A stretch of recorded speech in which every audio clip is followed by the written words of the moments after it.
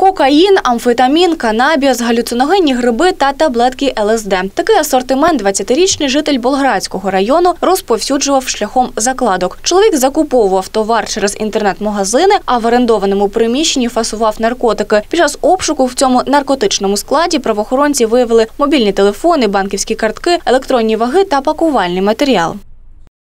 Молодика затримали в порядку статті 208 Кримінально-процесуального кодексу України та помістили до ізолятора тимчасового тримання до обрання запобіжного заходу. Наразі йому повідомили про підозру за частиною 1 статті 307 Кримінального кодексу України. Заборонений товар направили на експертизу. За її результатами буде вирішуватись питання про остаточну кваліфікацію.